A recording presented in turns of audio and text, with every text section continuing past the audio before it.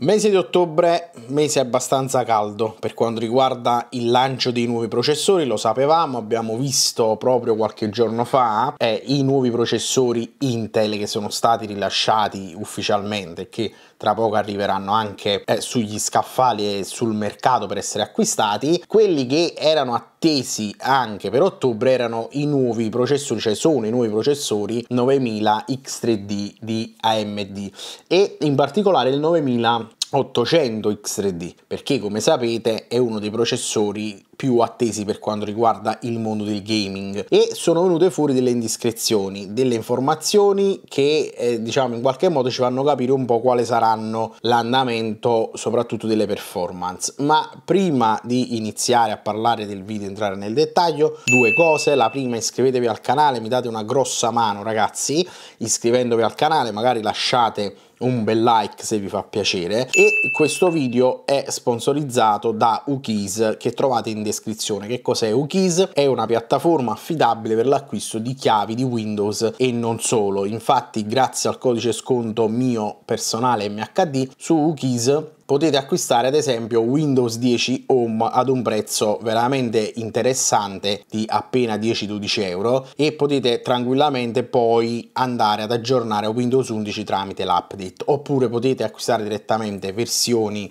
Home o Pro di Windows 11 e perché no dei pacchetti eh, software come Office 2016 Professional Plus o Office 2019 che comunque vi vengono a costare relativamente meno rispetto al all'Office 365 sempre grazie al mio codice sconto MHD acquistare è semplicissimo basta inserire il prodotto nel carrello andare ad applicare il codice sconto MHD in fase di checkout e la chiave vi arriva direttamente sul vostro account. Prendete la chiave, la inserite nell'apposita sezione dedicata all'attivazione ed il gioco è fatto, quindi trovate tutti i link a Ukis giù in descrizione. Che cosa praticamente è successo per farvela breve? È successo che durante una visita in una eh, diciamo catena, in una, in una fabbrica MSI per quanto riguarda le schede madri, una visita da parte di alcuni ehm, media, eh, un tour guidato, sono state mostrate, mm, forse per errore, forse non si sa per quale motivo, delle slide o comunque dei test fatti sul 9000 X3D sia probabilmente 16 core e quindi il, la, il top di gamma diciamo di punta 9950 X3D che sulla versione da 8 core che non sappiamo di preciso ma possiamo immaginare si tratti del 9800 X3D ebbene queste slide sono state letteralmente poi fotografate da qualcuno. Quindi quelle che vedete che sono state poi pubblicate su vari siti ehm, diciamo da hardware lux. Sono delle vere e proprie foto che qualcuno ha fatto durante questo tour guidato ok in questa fabbrica di schede MSI e ovviamente abbiamo mm, già un'idea almeno di quelle che stando a, al MSI OC Lab siano le performance dei futuri X3D e sono delle performance che sinceramente non sono nulla di speciale secondo me da quelle che erano le performance dei 7000 X3D quindi ci sono dei riferimenti soprattutto per quanto riguarda Cinebench per le eh, performance in single core e anche in multicore. Per esempio in una delle prime slide si vede come il futuro 9950 X3D viene in qualche modo paragonato allo stesso processore ma senza la 3D V-Cache. E su Cinebench in single core si parla veramente di una differenza che potrebbe essere tenuta in considerazione come errore perché si, si parla dello 0.2% e allo stesso modo eh, viene comparato il 9700X con l'8 core X3D, quindi il 9800 X3D e in questo caso l'unico reale vantaggio sembrerebbe un minimo in multicore dove l'X3D ha un punteggio leggermente superiore. Quello che però a mio avviso è più interessante è il paragone, cioè il confronto secondo MSI proprio sul 7800 X3D contro il 9800 X3D in ambito gaming. È vero che da queste slide vengono eh, diciamo, presi in considerazione appena tre giochi, quindi ragazzi non sono delle slide che eh, possono eh, diciamo, essere eh, considerate come risultato finale magari di una media di, di più giochi, cioè sono appena tre giochi, però ci fanno capire come in realtà il 9800 X3D sia abbondantemente sotto diciamo un 10% di media di performance in più. Quindi è vero che su Far Cry io qua vedo un più 10% 13% scusate però stiamo parlando anche di un processore in 1080p con una 4090 che fa il più 13% su un, un solo gioco mentre sugli altri siamo appena ad una differenza del 2% che permettetemi può, può tranquillamente rientrare voglio dire in, una, in un range di, di, errore perché siamo meno del 3% eh, voglio dire che non c'è quasi eh, differenza. E la stessa cosa tenendo in considerazione il 7950 X3D contro il 9000 eh, X3D da 16 core. Quindi il 9950 X3D che non sono propriamente i processori top per il gaming. Per quanto riguarda AMD vi ricordo che il problema della 3D V-Cache sul CCX va ad impattare cioè essendo processori questi che hanno un doppio CCX quindi sono due eh, CCX con 8 core l'uno. La 3D V-Cache è su un solo CCX si crea eh, diciamo una, una sorta di latenza un core latency che può andare ad influenzare le performance in gaming. Infatti il 7800 X3D come d'altronde il 9800 X3D va più forte. Bene, allora questi risultati, seppur parziali e seppur non, pos non possono essere tenuti in considerazione per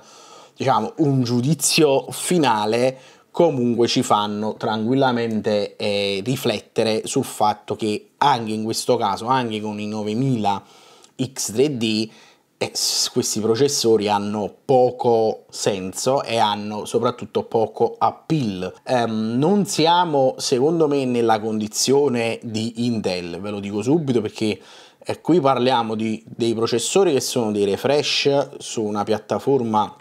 che già è uscita sul mercato, parliamo di processori che eh, vanno semplicemente, se così possiamo dire, a sostituire i vecchi processori. Nel caso del 9800 X3D è un qualcosa che però mh, mm, ci, ci va a quel servizio per il semplice fatto che questo è un processore che arriverà probabilmente eh, a 500 euro e oltre e fino a pochi mesi fa noi avevamo il 7800 X3D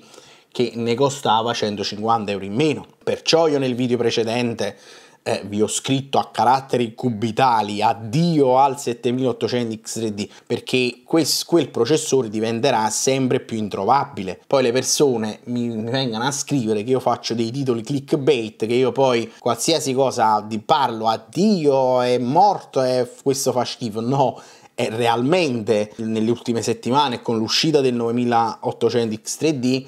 quanto ancora cioè quando più vedo che in realtà le performance non sono poi così eccezionali rispetto al precedente, io so perfettamente che da questo momento in poi AMD farà di tutto per togliere da mezzo il 7800 X3D, cioè verrà letteralmente tolto di mezzo il 7800 XD, non lo troverete più. E quei processori che troverete in giro, che saranno da qui a Natale dei, ehm, diciamo, delle rimanenze di magazzino, voi li troverete a dei prezzi assurdi. E per me fondamentalmente quest'anno lato CPU devo dire la verità sono in generale un po' deluso in che senso. Non è semplice. Allora io non sono diciamo una persona che tira eh, sentenze o comunque cioè a cui piace fare del sensazionalismo però eh, da AMD probabilmente più me lo aspettavo siccome è l'azienda che in questo momento eh, soprattutto lato gaming e soprattutto lato piattaforme è quella che si trova un po' più in vantaggio, ok? È quella un po' più avanti con i suoi processori, io posso in qualche modo aspettarmi che tirino fuori una generazione eh, di refresh diciamo alquanto inutile, ma che comunque voglio dire mantiene un minimo di performance e, e ha in linea con i prezzi delle precedenti. Da Intel io mi aspettavo qualcosina in più in generale. Quindi è perciò che io vado eh, in escandescenza, perché resto, non dico deluso, ma eh, sì, cioè, ci resto male quando vedo che per l'ennesima volta cioè, AMD continua a cacciare magari dei processori che rispetto ai precedenti non hanno eh, nulla di che e invece Intel fatica anche ad arrivare alle performance in gaming di processori della passata generazione, infatti stiamo parlando del 7800 X3D che non è minimamente avvicinabile come performance in questo momento da Intel. E una un'ulteriore riflessione la faccio insieme a voi perché? Perché noi vediamo che comunque le, le differenze tra processori top di gamma gen to gen non sono delle differenze eccezionali. Però quando si parla di gaming e, e ragazzi fidatevi perché non è semplice eh, 10% di differenze di prestazioni su un gioco con un top di gamma cioè non è poco. Cioè significa che per esempio su un gioco che fa normalmente 200 fps con il 7800 X3D si va a guadagnare 20 fps di solo processore su una CPU che già di per sé oggi è la CPU più potente che esiste sul mercato. Allora, è vero che in questo momento i processori sono in generale, ok, un componente hardware che fatica un po' a sfruttare al 100% e a stare dietro eh, il passo tecnologico che hanno invece le schede video. Su questo io per esempio sono d'accordo e me ne accorgo soprattutto quando, quando io vedo oggi dei processori che fanno queste differenze gen to gen con una 4090 e penso che a gennaio o a breve arriveranno mostri come la 5090 e io dico se oggi io ho una 4090 che è già difficile riuscire a sfruttare al 100% in determinate situazioni con i processori che ho, figuriamoci quando usciranno schede video come la 5090 sul mercato. Quindi io sono d'accordo che lato CPU la tecnologia diciamo arranca un pochettino anche perché eh, voglio dire non è semplice soprattutto sul gaming però ricordiamoci anche che stiamo parlando di un processore che di per sé il 7800 X3D è il processore più veloce in gaming che c'è. Fare anche un 10% in più, andare a tirare, voglio dire, 10% di performance in gioco, stiamo parlando, eh, su un processore gen to gen non è proprio una cosa scontatissima. Qui io non penso che siamo minimamente nell'ordine del 10%, perché mh, mm, se, se fosse intorno al 10% male proprio non sarebbe, però io penso che siamo abbondantemente sotto, infatti qui dice stando a quello al titolo si parla dal 2 al 13% a secondo del gioco. Io pre- prevedo uno scarso 5% di media, secondo me. E capite che se è 5%, cioè il 9800 X3D è un processore che non dico che è una merda, ma quasi rispetto al 7800 in base soprattutto al prezzo, cioè ma chi se lo deve comprare? Se noi avessimo 7800 X3D disponibili a 350 euro, col cazzo, scusatemi il termine, che io andrei, mi andrei a comprare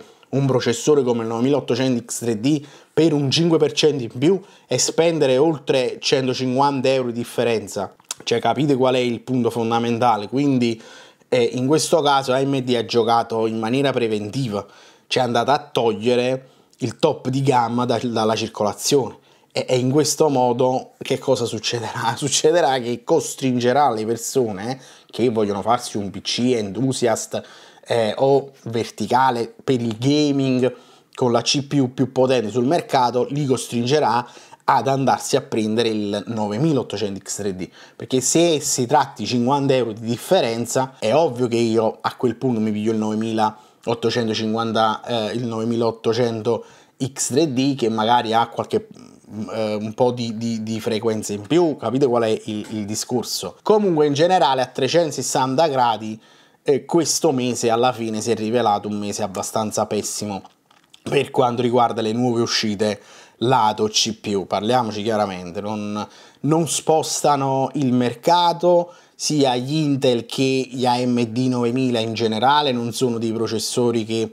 a mio avviso eh, so, sono interessanti. Il 9600 liscio, il 9600X perdonatemi sta scendendo rapidamente di prezzo si trova, si inizia a trovare già intorno alle 250-260 euro ed è sintomo del fatto che quando i prezzi calano così drasticamente su AMD è perché AMD non, non ne sta vendendo mezzo in giro quindi sono stati abbattuti subito i prezzi e forse l'unico processore realmente interessante che potremmo vedere ma non, non ne sono certo eh, può essere il 9600 liscio quando lo vedremo se uscirà sul mercato. In ogni caso fatemi sapere voi che cosa ne pensate. Scrivetemi un commento lasciatemi un like e noi ci vediamo come sempre in un prossimo video. Ciao ragazzi